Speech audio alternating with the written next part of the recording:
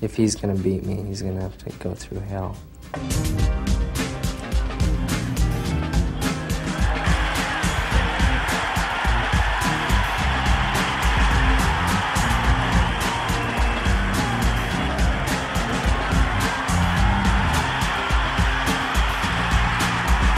Just keeping pressure on him.